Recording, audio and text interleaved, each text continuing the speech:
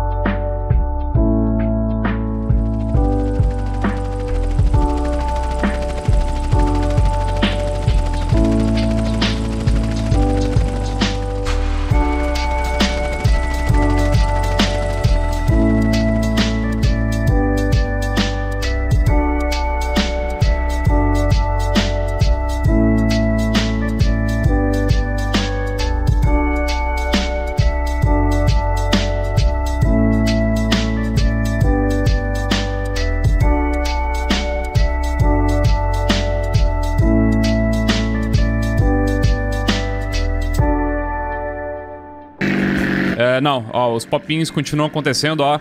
Esses bagulhinhos, não consegui resolver não, manos. Coisa inerente aí dessa edição. Eu tô vendo até mais popinho aqui do que no, no jogo original, pra ser sincero. Não faço a menor ideia de como que o Júnior fez isso. O cara é mito, velho. O cara é mitológico, passa.